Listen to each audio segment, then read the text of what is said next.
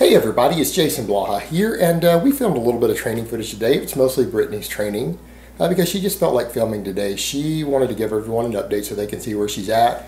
There were no PRs today. In fact, we had to reduce everything just slightly uh, because she just recovered from strep throat. This is her second workout back, but she's like, you know what, I want to get on camera and get motivated to train. So uh, let me put on my plus five hat of weaponsmithing, and I'm going to kind of just voice this over, and I'm going to just flip the videos in because I've noticed um, when I tried to do it the other way last time, YouTube did not like me having any sound in the gym footage, and this lets me just voice over all of it since I already know what's on it. They didn't like the background music, um, so I'll just work around that this way. So yeah, one of the problems we did run into, is you guys can watch here with her bench pressing, normally I coach her on everything, and that's something a lot of lifters, uh, serious lifters, actually need form coaches and everything, sometimes for their entire training careers. A lot of your top lifters actually never do a single rep in the gym uh, without somebody checking their form, counting their reps, helping them. There are people who are coached literally their whole powerlifting career. Um, and we are doing basic power training for her, but her bench press there, uh, seven reps, we're going to do sets of seven today uh, she had been doing sets of eight with this weight with 75 pounds. And what we do for her bench press, uh, we work with sets of five. When she gets strong enough to do three sets of six, we go to that and we go all the way up until she can comfortably do three sets of eight with a weight. Then we increase it five pounds and repeat the cycle three times a week. That's her bench training right now. And um, the problem we had there is that she had gotten to eight, but then she got sick, and so we're rebuilding back up. We had started with six, and then as you guys will watch on this next clip, unfortunately, she's used to me giving her cues. And on the last rep, I'm training her to pause until I say pause and then I say rack. Because I was back holding the camera, she couldn't hear me as well. With the background music playing, she ran into problems. She did her seven reps and she wasn't sure if she was supposed to rack it or not. The bar slipped out of her path, came down to her stomach. Um, and again, that's one of the other things that's good for people to know. That's something that people need to be aware of. There's a reason you bench always with your face inside the J-hooks. And you need to learn to set up that way, and that's something you see exactly there with her. Because if you ever fail a bench, or you don't have your spotter handy, or even if you do have a spotter handy, the, the bar should never ever be able to contact your neck or your face. If it is physically capable of doing so, you are bench pressing incorrectly. Those J-hooks are there so that you can get set up and only move the weight a few inches over to over your chest, press the lower chest back up and re-rack it. The bar should never be able to hit your neck. And again, that's just basic common sense on the bench press. And if people are teaching you to bench press any different than that, you need to run. They're going to get you hurt. They're idiots who do not know how to bench press. They don't know basic gym safety. Uh, again, a lot of people out there like that. But your neck should be completely enclosed between the J hooks so that if the bar were to come down and roll, it stops on your chest. And it is physically impossible for it to get to your neck, even if you had 400 pounds on the bar. That's the idea.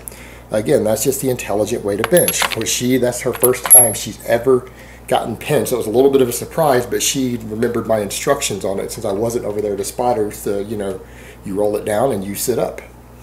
Uh, it's called the roll of shame. Uh, and I had her stop benching after that. You fail a rep on the bench press, as a general rule, you're done. You don't train your chest. You don't do any more pressing the rest of the day. You are finished.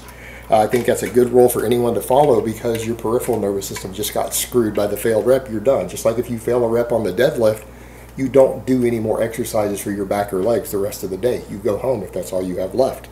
Uh, but for her, we kind of started there with the bench press other than just her light warm-up squats. So, yeah, good, important lesson to learn. And the other thing that people need to remember, uh, when you get used to working with people helping you or coaches, spotters, everything else, you have to remember that things are different when they're not there. And when you get into those habits, that's exactly what could happen. She got confused for a second because she didn't have me standing right over her telling her to press and then rack. And she's used to that. And that's okay. If someone were, were going to compete in powerlifting or something later, that's a good habit to have. But then if you're used to it, uh, it can be an issue. And some of that is people need to remember Brittany is still technically a novice lifter. Um, she is still in her novice phase. We've only been training continually for her for I think nine months or so because uh, she did take some downtime and everything. She started a bit, and she's worked with really terrible trainers in the past, but she's still making noob gains at this point. Uh, her progression is still linear, uh, mostly linear, so we're working with it that way. I'm treating her as a novice, and she doesn't have that much training experience, uh, but she's doing pretty good for it. Uh, then we did her deadlift. Uh, again, typical things, same way I have I deadlift, same way I teach people to deadlift. You guys will notice she uses thoracic rounding, keeps a neutral neck, and she does a pre, what I call the term the term for it gets changed a lot. I think the best term I've ever heard used for it is like a pre-motor unit slack technique, to where you grip the bar, then you pull down, and just as you tighten up the pull, you pull up. Similar to what I do, uh, but yeah, she's doing like 175 for five there, or did she do? Yeah, 175.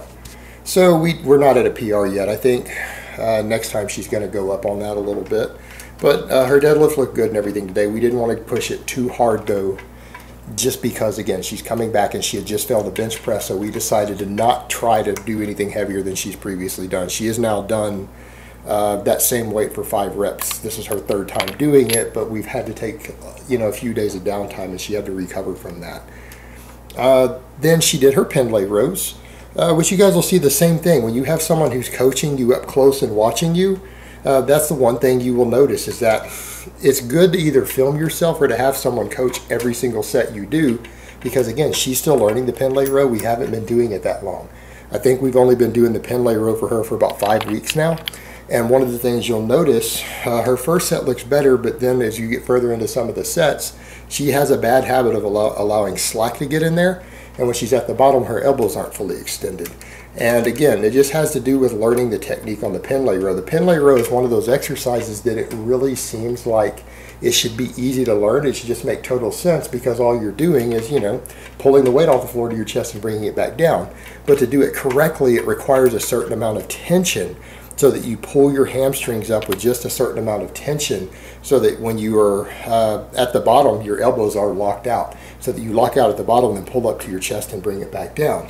And it's not always as simple as that. It requires some certain learning mechanics for people to learn to do it, and particularly to just stay explosive. And it's one of the things I'm trying to work with her on is that sometimes, especially like her final set, sometimes she will tend to lean over too far and have too much elbow bend in it.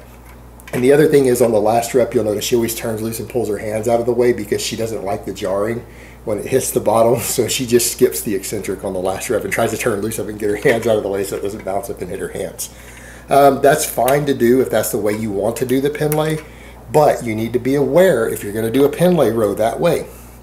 Get your hands out of the way because that bar will bounce back up just like if you release on a deadlift on part of the way down, it will bounce back up and sometimes it will break your fingers or break a fingernail completely off. Uh, So you need to be aware of that. That bar will bounce back up a few inches, and if there's a lot of weight on it, it's going to have a lot of kinetic energy. And if it does, it can injure you. It can injure your hands, it can injure your fingers.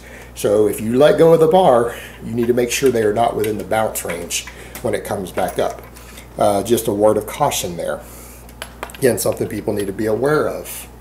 Uh, you know what? And I also threw in a couple of my sets because I figured, what the hell? We were already filming a little bit. I didn't film everything I did um, just some deadlifting. And you know what, guys? You guys will notice I deadlifted one less rep uh, than I've done in some of the last uh, few workouts. And you know why? Because I undulate my intensity. I come in, I generally just work with five plates, uh, do moderate reps, and I have days to where if my hands are just hurting or I feel stiff, I might stop at five reps like I did. I might even stop at four sometimes. I base it upon how I feel and how I'm recovering day to day. And you know, and there's other days to where I come in and do two or three more reps with the same amount of weight, leave one in the tank, and I feel perfectly fine. And that's the thing. When you're doing high frequency deadlifting like her and I both do, um, we both deadlift three days a week. It's very important that you undulate your intensities. And the same thing, you don't need to be doing a lot of eccentric reps on a deadlift. You start doing large amounts of eccentric reps on a high toll exercise like the deadlift, uh, particularly trying to do slow eccentric reps, you will bury your recovery ability and you might find yourself fatiguing your lower back with so many micro tears that you can't function day to day. That is one of the keys to doing very high frequency deadlifting successfully is to keep those eccentric reps minimum or completely removed. Uh, if you're going to be doing it anything more than about two times to three times a week heavy, particularly if you go up to something like five, eccentric reps are going to be your absolute enemy they're going to hammer your recovery ability into the ground on the deadlift. Be aware of that. Uh, if you want to be able to deadlift at a high frequency to get really strong and explosive at it. Uh, so something to be aware of. Uh, I also did some Pendlay rows again. You know, these are a little sloppier than last time. I added weight back on. Um, they're a little sloppier than I might like, but you know what? I can live with that, uh, Pendlays that are a little sloppy every now and then as long as I go back and then reduce the weight sometimes and get them really, really strict. Um, and it's just the nature of the exercise sometimes. Sometimes you're more explosive at it with better form, and you just have to assess that day to day. Again, Pendlay rows is one of those exercises that I change uh, weights, I change rep ranges pretty often. Um, and sometimes I just find that I end up being a lot sloppier with a little more English on it. Is it the best way to do the exercise? Not always, probably not. Um, ideal form would be a little stricter than I'm doing uh, in the video today. But you know what? I've also filmed me doing them extremely strict as well. Uh, again, just one of those things that you have to just assess day to day. Uh, like I said, a little sloppier than I would recommend people doing, a little sloppier than I was personally happy with, and it just happens that way sometimes. There are times when you're doing them and they feel fairly strict, but then when you watch the video or you have someone else watch it, they look at it and say, hey, uh, you know, that wasn't as strict or as clean as you thought it was. And you know what? You can't let those things hurt your ego. You just have to accept those things and say, okay, next time I'll come in and I'll take a little bit of weight off so that I can tighten that form up. And you you own it and you live with it. And but that's the other thing. That's one reason it's very important uh, for you to have competent people assessing your technique, assessing your form, or videoing yourself. You don't want to be watching yourself in the mirror ever when you lift. I think mirrors in gyms are one of the worst inventions ever um, some of the people will say, well, you got the mirror in front of you when you're deadlifting. Yeah, but I have my glasses off. Uh, so it doesn't really count. It's like I'm kind of blurry. I can't really completely see everything clearly uh, to the extent that a lot of people would who are staring. And I block it out anyways. I try not to even notice uh, as it is. I block out everything around me during a lift. Uh, it's a good habit to have. But yeah, it comes down to the fact that looking at yourself in the mirror is not the way to do it. You need to video yourself or you need to have other people watch if you really want to work on your form and technique. Um, it's a very, very valuable tool and videoing your list for your own assessment. Uh, again, since video cameras are so prolific today, back when I trained years ago, they weren't, no one had video cameras. No one had portable video cameras when I was younger in training. Uh, like I, everyone who had a video camera was like a big camcorder, you know, thing this big you carried around with a VHS tape in it. it wasn't quite that bad when I was a young man you know, back in the late 90s or, you know, turn of the millennium there, but it was pretty bad. But we, everyone has cameras on their phones, they have camcorders, everyone has a way to record now. It's an amazingly useful piece of technology. Use it in your training. It is one of the single most valuable tools that we have today for our own form and technique. You add, use it to your advantage. Um, extremely valuable tool. There's no excuse for you to not have some videos of your form for you, you to be able to look at and make sure that you're doing things wrong, right or wrong and what you correct. Because you know what? Any of us, no matter where we're at in our training, we can always find little things that we can improve on here and there on our technique and form. All of us, every single one of us. And that I've even heard world champion level lifters even say that about themselves. That they've gone and looked at videos and said, man, I could really make some changes in my technique and I could get better. And if world champions can, can do that, then every single one of us can. All right, guys, but that's really all I have to say on that today. I hope it's been informative, and I will talk to you guys next time.